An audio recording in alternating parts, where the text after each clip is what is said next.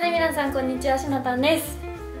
はい今回はですねちょっといつもと違った感じだと思うんですけれども本日はですねずっとやりたかったご飯を食べながらね動画を撮ろうと思います。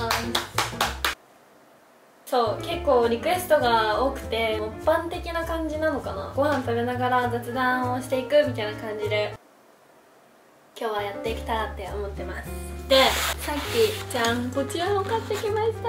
めっちゃ美味しそうじゃない？これ。私このなんて言うんだろうこれ。RF 分の1なんて読むんでしょうか？ちょっとよくわからないんですけれども。このお店？なんかさサラダとかめっちゃ売ってるお店あるじゃないですか？よく。あれですよ。買ってきました。こちら。なので今日はこちらを召し上がりながら動画を撮っていきたいと思っております。よかったらぜひ最後までご覧ください。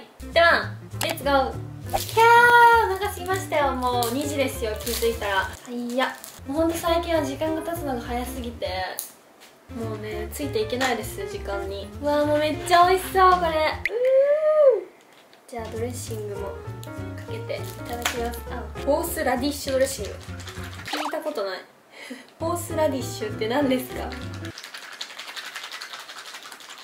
何にかけるんだろう？サラダなんかもう元からかかってません？なんかテカテカしてるけど。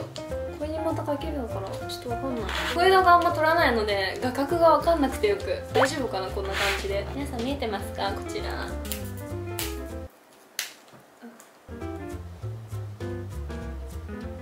ああいいねそれでも玉ねぎあ玉ねぎかな。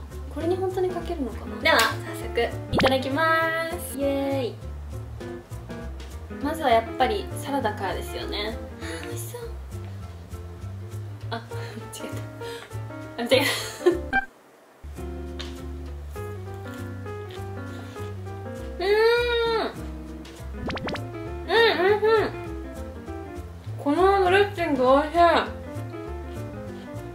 何味かわかんないけどすごい美味しい。うんうん。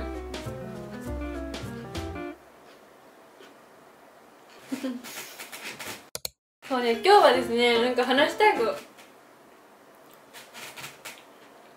最近私気づいたことがあってなんかまあ人間ってそれぞれ癖みたいなのあるじゃないですか。私も結構、まあ、人から言われて気づくこともあるんですけど自分で「あれ?」みたいな。あれ？私これよくやってないみたいなことがあるんですよ。髪の毛をすぐ触ってしまうとか鼻を結構私触っちゃったりとかするんですよ。そうでその中でなんかこれ私だけかなみたいな思ったことがあったんですね。それが何かっていうとなんか手が空いてる時とか暇な時に机だったりとか太ももだったりとかまあなんかこう指が置けるところなら何でもいいんですけどなんか知らぬ間にハートを描いちゃうんですよこうやって。気づいたら私あれ？またハート描いてるみたいなのがいつからだろう？結構昔からあってそれが。やっぱハートって一筆書きで書けるじゃないですか。だからすごいこうリズム感がよく書けるのでなんかそれでハート書いちゃうのかなと思ったんですけど、まあ、ハートだけじゃなくってたまにこう文字とかも書いちゃうんですね。でその文字がひらがなの「か」なんですよ。ひらがなの「か」別に特に「か」が好きとかそういう理由はないんですけどなんかわかんないけどこう机にこう「か」って書くのが昔からすっごい癖で。でねこれも友達に話したんですよ一回。なんか知らない間にハート書いてんだけどやばくない？みたいな話したら友達が「え待って私ニコちゃんマークよく書くんだけど」みたいな言ってて。いやニコちゃんマークハートまだわかるじゃないですか。なんか一筆書きだから。ニコちゃんマークって1234画もあるんですよ。いやニコちゃんマークって思ったんですけど。でもやっぱ書くんだと思って。私だけじゃなかったんだと思って。これ結構ね気になるんですよね。私もこういうのついつい書いちゃいますみたいな人いないかな。そうそれがねまず1個癖であってで結構あるんですよ私癖。携帯にもねいろいろねメモしたりとかしてるんですけど。あとこれもなんか私の癖でこれどうだろうな共感者いるかわかんないんですけど、まあ、私 YouTube やってて自分で編集するじゃないですか。その自分の映像を見ながらだったりとか何でもいいんですけど人が映ってるものを見た時にその人の顔を見てこの人が坊主だったらどんな感じなんだろうみたいなのを結構想像しちゃうんですよね。特に女性で前髪がない方とかだとすごい坊主になった時に想像しやすいじゃないですか。よく YouTube とか見ててもこの人髪の毛今あるけど坊主になったらっていうのを想像してるんですよ。自分で撮った映像を見ながら私もし髪の毛抜けたらこんな感じになるんだみたいな。めっちゃ想像しちゃうんですよね。同じ人いるかな？これはね最近発見した癖ですね。結構前から多分やってたんですけど。うん。この漬物美味しい。うん。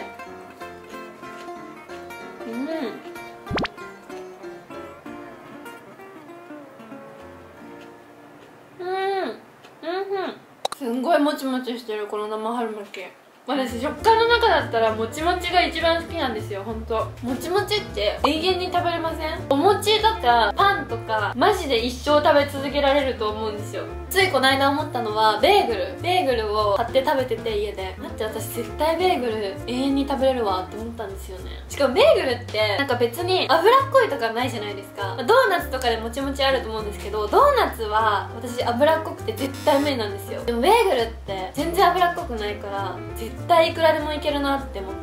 絶対太るだろうなその1日で。てかパンって永遠に食べれません？本当に。どんだけでも食べてもいいよって言われたらどんだけでも食べれる気しかしない。あそうだ。あとこれも私ずっと思ってることがあって、まあ、皆さん洋服着ると思うんですけど。洋服とかまあ T シャツが多いかな。T シャツとかに結構英文でバーって字が書かれてるやつだったりとかあるじゃないですか。なんかあれってみんなどういう基準で買ってますか？私は大体まあなんかデザインだったりとか色合いだったりとかなんかそういうのを結構重視して買うんですねいつも。でもなんかよく考えてみるとこの英語の文章とか英語の単語ってどういう意味なんだろうみたいな。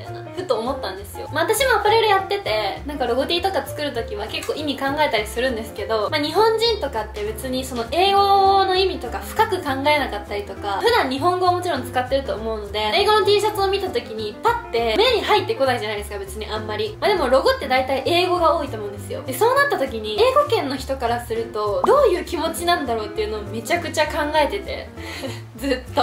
もちろん私は英語の国では育ってないので、まあ、なんか意味がわかるとしてもそこまで気にならない。別に。だけど英語圏の人からすると私たちからして日本語で書かれてるみたいな感覚になるってことじゃないですか。どういう基準で買うっていうよりはどういう気持ちなんだろうっていうのをすごく私は体験してみたいんですよね。でも最近よく海外のブランドで逆に日本語で文字書いてあるやつとかあるじゃないですか。ああいうのを見ると何この文字みたいな感じで思うことが多いので海外の人からするとそういう感じなのかなっていうのも思うんですけどどうなんだろう実際。もしこれを見てる海外の方いたらぜひコメントお願いします。本当にそれがねずっと気になってるんですよね。いやでも待って。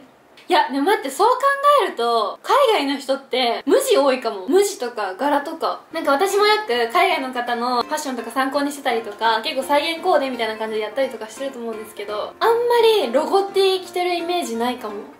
え？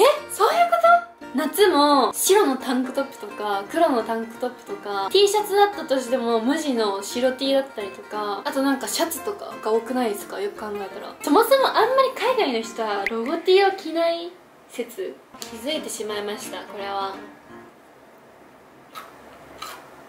えそうかも。うわ絶対そうだ。やっぱなんかあれなのかな？可愛いと思わないのかな？そういうの。これは大発見。見つけてしまった。気づいてしまった。えー、面白い。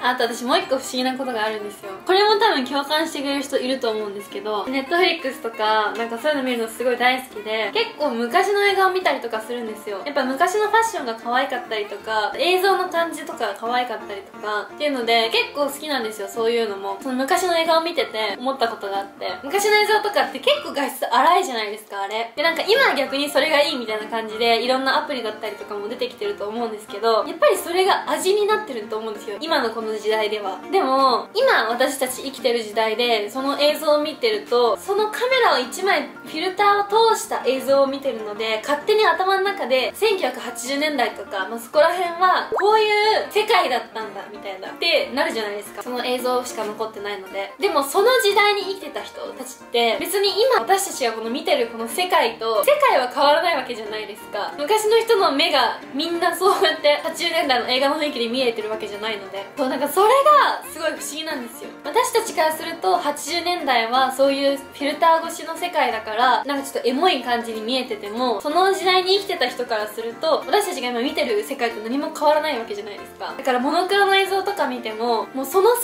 界だと思っちゃってるからモノクロの映像の中で生きてる人たちはモノクロで見えてるって思っちゃうんですよね。思いませんからって。やっぱりその私は昔のそういった映像の雰囲気がとっても好きなのでその時代に憧れるんですけどその時代に生きてたとしても別に今見てる世界と変わらない。わけじゃないですか。それがね私はすごい不思議だなって思ってることです。でも80年代私生きてみたかったなちょっと。同じ見え方でいいから。80年代のファッションとか見てると本当に可愛くて。でお母さんが多分ちょうど80年代とかここら辺が全盛期っていうかすごい青春の時代だと思うんですけどすごい羨ましくてそれが。数年したら私たちの時代も生きてみたいって言われてるようになってるんですかね。どうなんだろう。ほんと数年後どうなってるか全然想像つかなくないですか。この数年で一気にボワーンって発展しすぎていろんなことが。これから先もっと発展することなんかあるんかなってめっちゃ考えちゃう。だって昔からしたら今のこの生活がありえないことだらけじゃないですか絶対。新幹線みたいな。何それ。東京から名古屋まで2時間で行けるの？みたいなことですよね。あとあれもすごい考えちゃう。今普通に電車とか普及してるじゃないですか。でも路線とかをつなげるのにどんだけかかったのって思いません？誰が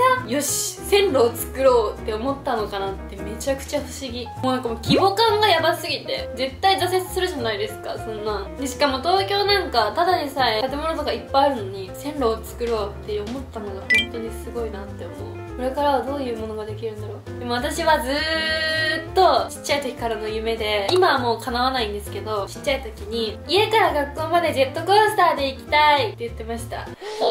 もなんかこれはできそうだなって思いません？ちょっと。いつも想像してました。家の2階から直接ジェットコースターに乗れてそこで学校にこのジェットコースター乗って着くみたいな。めちゃくちゃ夢だったなちっちゃい頃もいつか誰か叶えてくださいこの夢を。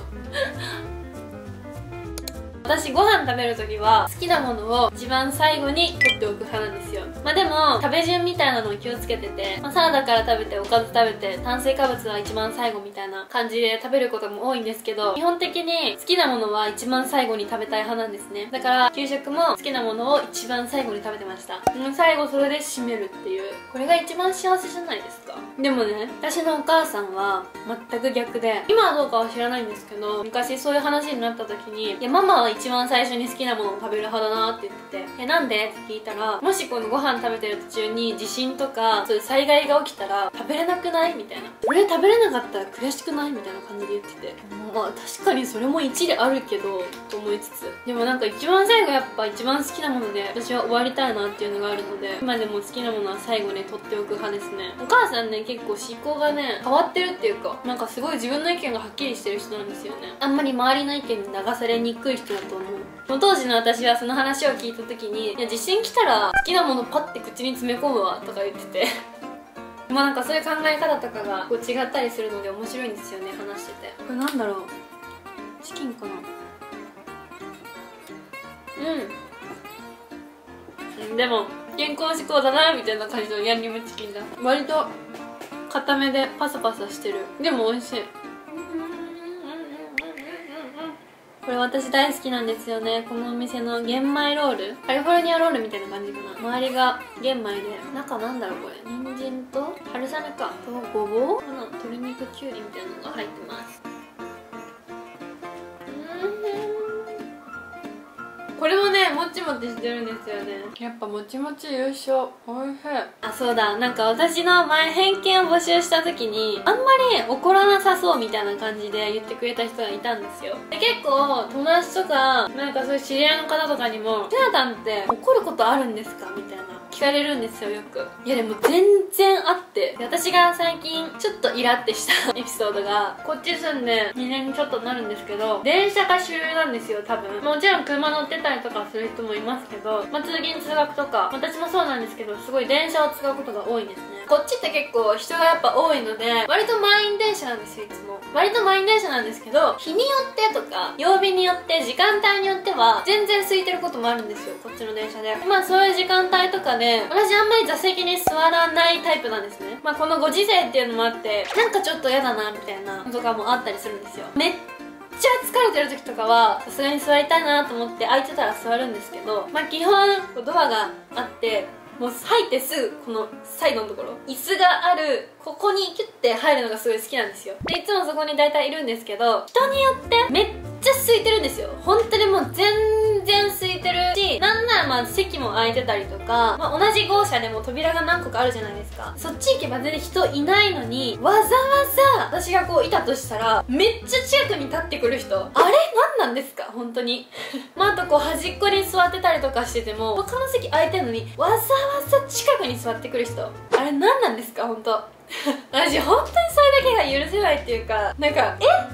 なんで？って思うんですよ。なんか結構距離感がない人が私苦手っていうか不思議で。で今のご時世なんか特にそういうの多分みんな気にしてるのかなと思うんですけどたまに本当にここ？ここ来るみたいな。怒られて避けるのもちょっとなんか気まずかったりするしまあそこにねいるはいるんですけどあとなんかスーパーとかでもレジ待ちで並んでたりとかしててもすっごい後ろにピターって並ぶ人とかいるじゃないですか、まあ、すっごい行列とかだったら邪魔にならないようにみたいな感じで固まるとかあると思うんですけどめっちゃ近くギリギリまで来る人。あれが本当私無理で結構それでイラってしちゃうことはあります。だから私も全然怒ることっていうかはあります。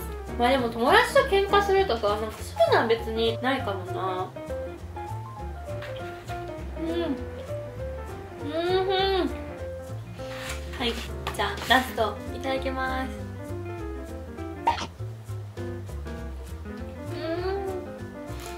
幸せすぎる。